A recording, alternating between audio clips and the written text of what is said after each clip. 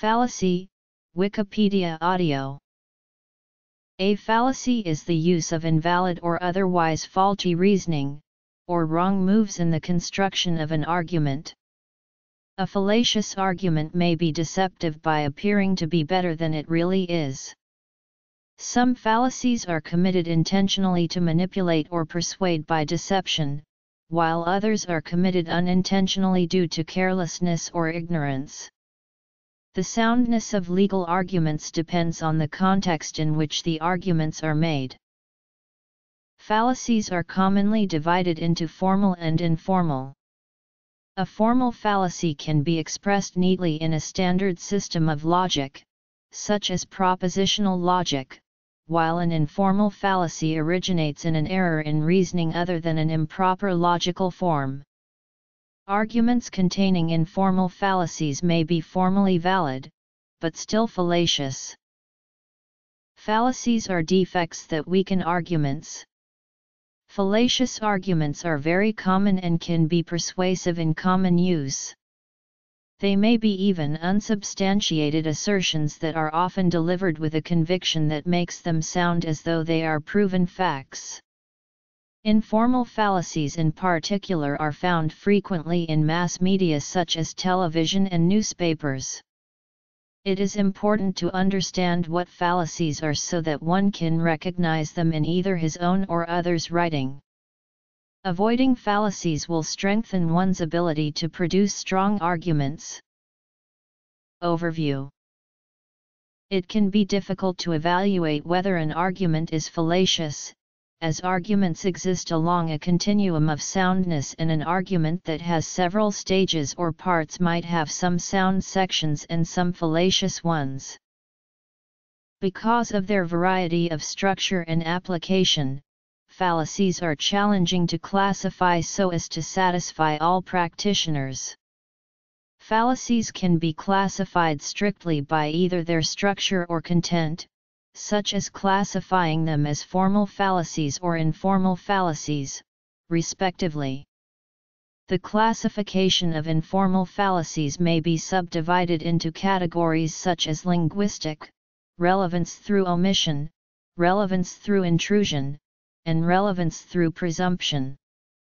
On the other hand, fallacies may be classified by the process by which they occur, such as material fallacies, verbal fallacies, and again formal fallacies. In turn, material fallacies may be placed into the more general category of informal fallacies. Yet, verbal fallacies may be placed in either formal or informal classifications. Compare equivocation, which is a word or phrase based ambiguity, e.g., he is mad, which may refer to either him being angry or clinically insane, to the fallacy of composition which is premise and inference-based ambiguity, e.g. This must be a good basketball team because each of its members is an outstanding player. Anti-pattern, association fallacy, cogency, cognitive bias, cognitive distortion, demagogue, evidence, fallacies of definition, false premise, false statement, invalid proof, jumping to conclusions, mathematical fallacy, paradox, prosecutor's fallacy, sophism, soundness, lies, damned lies, and statistics, truth, validity, victim blaming. Even the definitions of the classes may not be unique. For example, Whately treats material fallacies as a complement to logical fallacies, which makes them synonymous to informal fallacies, while others consider them to be a subclass of informal fallacies, like mentioned above. Aristotle was the first to systematize logical errors into a list, as being able to refute an opponent's thesis is one way of winning an argument. Aristotle's sophistical refutations identifies 13 fallacies. He divided them up into two major types, linguistic fallacies and non-linguistic fallacies, some depending on language and others that do not depend on language. These fallacies are called verbal fallacies and material fallacies, respectively.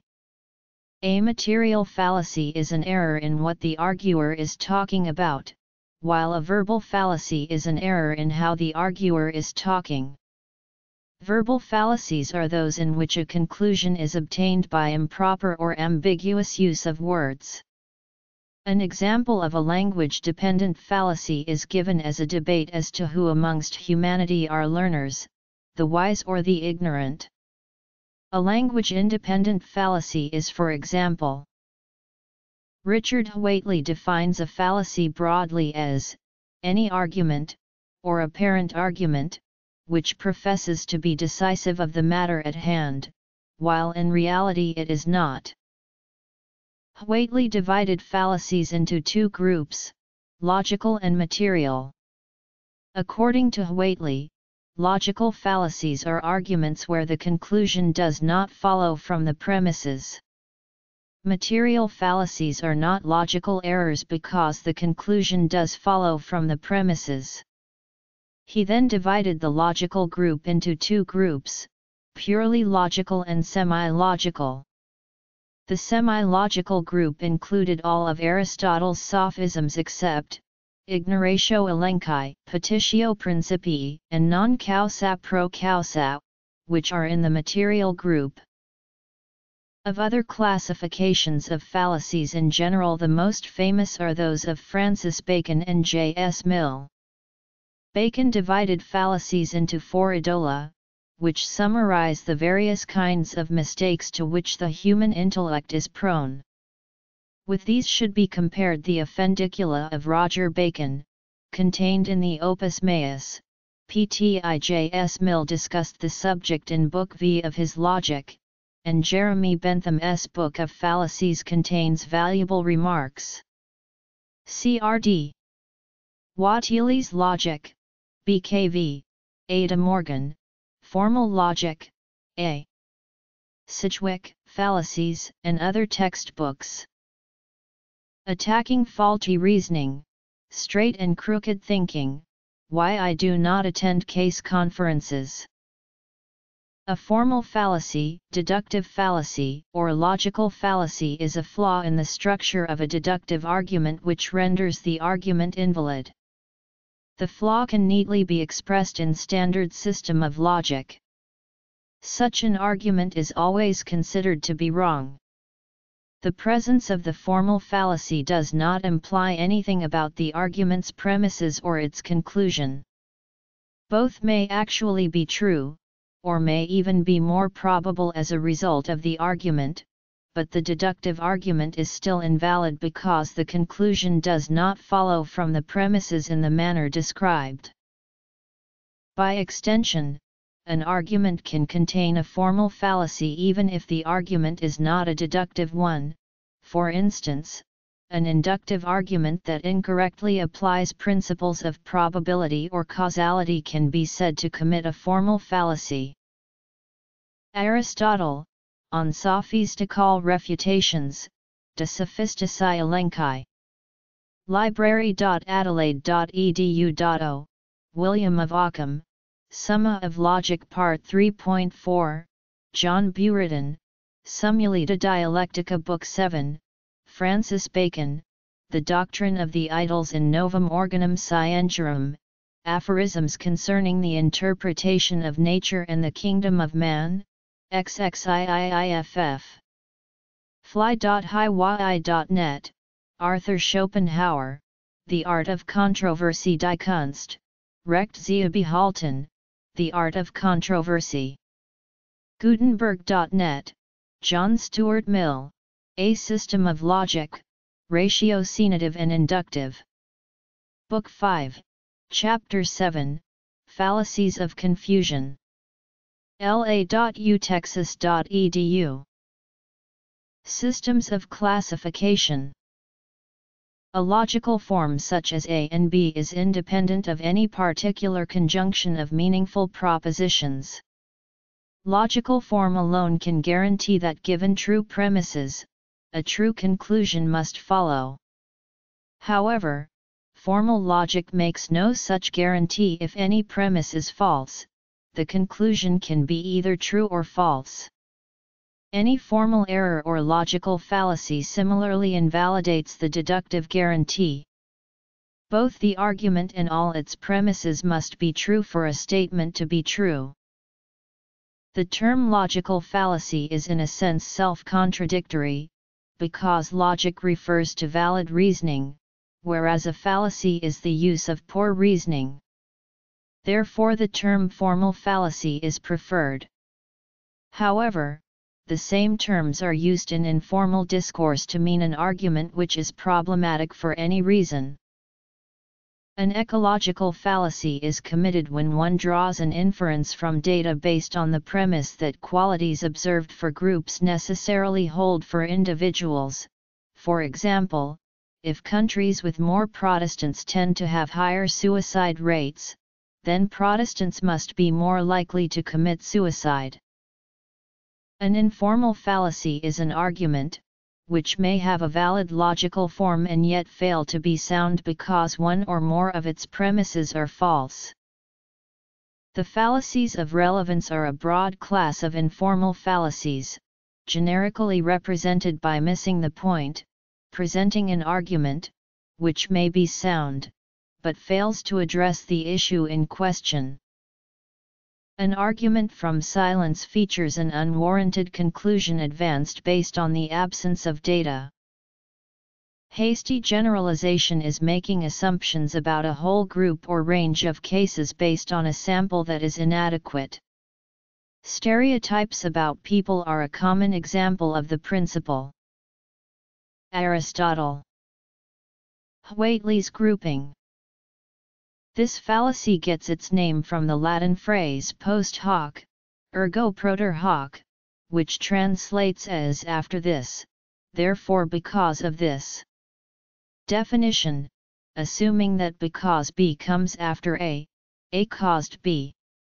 Sometimes one event really does cause another one that comes later for example, if I register for a class, and my name later appears on the roll, it's true that the first event caused the one that came later. But sometimes two events that seem related in time aren't really related as cause and event. That is, correlation isn't the same thing as causation. Other systems of classification Formal fallacy Common examples Ecological fallacy Informal fallacy Definition The arguer claims that a sort of chain reaction, usually ending in some dire consequence, will take place, but there's really not enough evidence for that assumption. The arguer asserts that if we take even one step onto the slippery slope, we will end up sliding all the way to the bottom, he or she assumes we can't stop halfway down the hill. This error in reasoning occurs when claims are supported by unsound comparisons, hence the false analogy s informal nickname of the apples and oranges fallacy. Some of the fallacies described above may be committed in the context of measurement.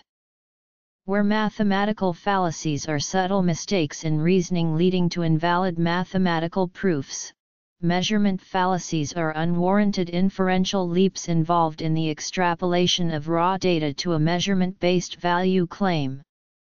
The ancient Greek sophist Protagoras was one of the first thinkers to propose that humans can generate reliable measurements through his human measure principle and the practice of dissoi logoi. This history helps explain why measurement fallacies are informed by informal logic and argumentation theory. Relevance fallacy Increasing availability and circulation of big data are driving proliferation of new metrics for scholarly authority, and there is lively discussion regarding the relative usefulness of such metrics for measuring the value of knowledge production in the context of an information tsunami. For example, Anchoring fallacies can occur when unwarranted weight is given to data generated by metrics that the arguers themselves acknowledge is flawed. For example, limitations of the journal impact factor are well documented, and even JIF pioneer Eugene Garfield notes, while citation data create new tools for analyses of research performance, it should be stressed that they supplement rather than replace other quantitative and qualitative indicators. To the extent that arguers jettison acknowledged limitations of JIF-generated data in evaluative judgments, or leave behind Garfield's supplement rather than replace caveat, they court commission of anchoring fallacies. A naturalistic fallacy can occur for example in the case of sheer quantity metrics based on the premise more is better or, in the case of developmental assessment in the field of psychology, higher is better. A false analogy occurs when claims are supported by unsound comparisons between data points. For example, the Scopus and Web of Science bibliographic databases have difficulty distinguishing between citations of scholarly work that are arm's length endorsements, ceremonial citations, or negative citations. Hence, measurement-based value claims premised on the uniform quality of all citations may be questioned on false analogy grounds. For the next example let us consider Academic Analytics Faculty Scholarly Productivity Index, which purports to measure overall faculty productivity, yet the tool does not capture data based on citations in books. This creates a possibility that low productivity measurements using the tool may constitute argument from silence fallacies, to the extent that such measurements are supported by the absence of book citation data.